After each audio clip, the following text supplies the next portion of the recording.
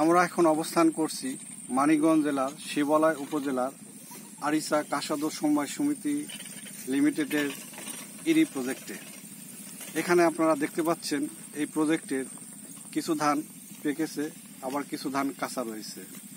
কিন্তু এই প্রজেক্টের পাশেই যমুনা নদী অবস্থিত। কয়েকদিন ধরে নদীতে প্রচুর পরিমাণে পানি বৃদ্ধি পেয়েছে।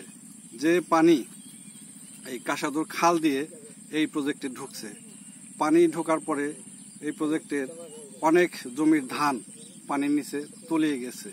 কৃষকরা সেই আধা পাকা ধান কেটে বাড়ি নিচ্ছেন এবং অনেকেই ধান কাটা বাদ দিয়ে এই অনেক চিন্তিত আছেন। কারণ এই প্রজেক্টে যে ধান আবাদ হয়, সেই ধান দিয়ে, সেই ধান দিয়েই তারা তাদের সারা বছরের খাবার জোগাড় করেন তারা।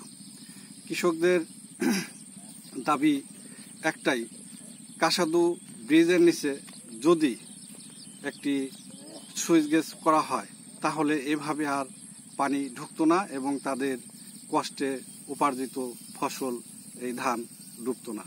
এজন্য তারা দাবি করছেন যে, এই ভবিষ্যতে যেন এই প্রজেক্টের জন্য যেখানে সুইচ গেট প্রয়োজন, সেই প্রয়োজনে সুইচ গেট করে দিনে, করে দেওয়া হয়।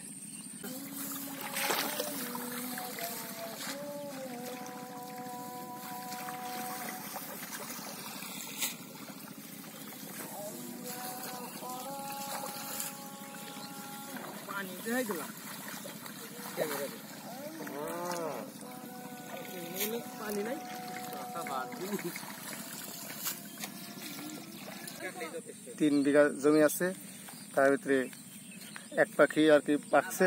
তা অর্ধেক কাঁচা আর অর্ধেক অর্ধেক পাকা।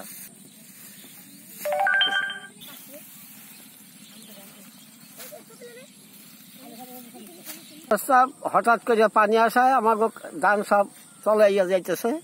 কিছু ওই আধা বাহা ধান আমরা কাটলাম আর কাঁচা ধান পানি চলে আছে ওই কাটলাম না। আমি একজন গরিব কৃষক। এই বোয়ালি প্রজেক্টে আমার চার ভাই জমি আছে। এই হঠাৎ করে পানি এসে ধানগুনে ডোবা ডোবা ভাব। পানি যদি না কমে, তাহলে এই ধান আমি কাটতে পারব না। আমার বছরকার খাদ্য নষ্ট হয়ে যাচ্ছে।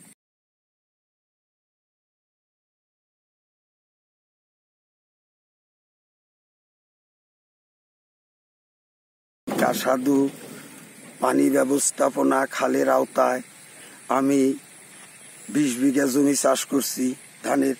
এই ইসামতি নদীর পানি বাড়ায়, পানি অকালে বাড়ার কারণে অনেক ধানই অনেক কৃষকের ডুবে গেছে। আমার ধান এখনও ডুবে নাই, ডুবা ডুবার ভাব। কিন্তু আমার অনুরোধ, এই খালে ইসামতি নদীর পারে একটা সুইচ গেট আর ইসামতি উথুলি একটা সুই- খালে একটা সুইচ গেট। এটাই অনুরোধ, এটা হইলে আমরা অনেক চাষি, অনেক উপকার হবে। এমনকি আমি না, সহ এই এলাকার কৃষকের অনেক উপকার হবে। এই প্রজেক্টটা আমার আট দশ বিঘা জমি আছে। তো বর্তমান এই এই বন্যার পানি ঢুকে এই ধান আমাদের তলা তলা ভাব।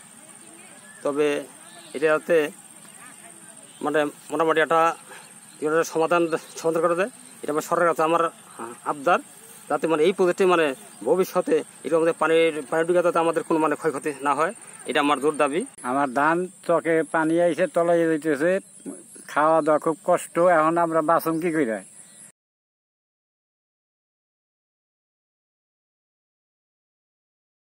আমার মোট সাড়ে আট বিঘা ধান ধানের মধ্যে দুই বিঘা তোলাই গেছে। যদি সরকারের থেকে আপনি এটা কোনো ব্যবস্থা না নেয় তাহলে আমাদের অনেক ক্ষয়ক্ষতি হবে। আমার এই প্রজেক্টের আন্ডারে প্রায় তেইশ হাজার ডিসিমেল জমি ইরি এবং শস্যে আবাদ হয়। এখানে প্রত্যেক বছরই সুন্দরভাবে অনেক কৃষি ফলন উত্তোলন হয়। এবার পাশেই যমুনা নদীতে আকস্মিকভাবে হঠাৎ পানি বৃদ্ধি পাওয়াতে কাঁসাদুর খালের মাধ্যম দিয়ে নদীতে ইয়ে ক্ষেতের মধ্যে পানি এসে ঢুকে পড়ে, ঢুকে অনেক জমি প্লাবিত হয়ে যায়। সেখানে অনেক কৃষকরা ক্ষতিগ্রস্ত হয়ে যায়। যে কারণেই এখানে দুইটা বাঁধ আমাদের এখানে বেরিবাঁধের খুবই প্রয়োজন। কাসাদুর সমিতি যে কাঁসাদুর খাল দিয়ে যেখান থেকে পানি নদীতে পানি বৃদ্ধি হলে সেখান দিয়ে এই চকে পানি প্রবেশ করে।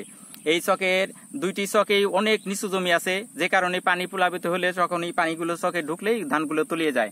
সেখানে কৃষক খুব ক্ষতিগ্রস্ত হয়ে যায়। এর আগেও হয়েছে সেজন্য ঊর্ধ্বতন কর্মকর্তাদের আমার বিশেষ দাবি যেমন কাসাদুর খালের ওখানে একটা বেরি ইয়ে, সুইচ গেট আর হলো উথুলি খালের ওখানে একটা সুইচ গেট। এই দুইটা সুইচ গেট হলে অনেক শস্য উৎপাদিত হবে, সেটা একটা পরিবার উপকৃত হবে, দেশ উপকৃত হবে, দেশের খাদ্য ঘাটতি স্বয়ংসম্পূর্ণ হবে।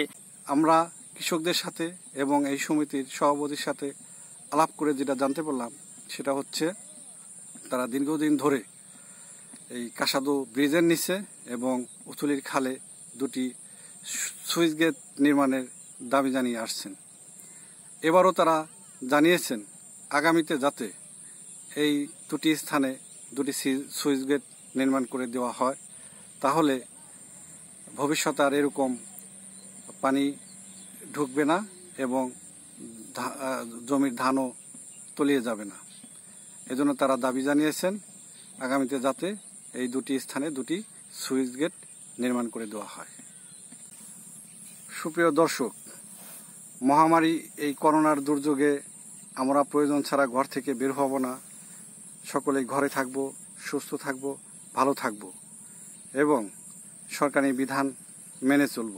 ধন্যবাদ সকলকে।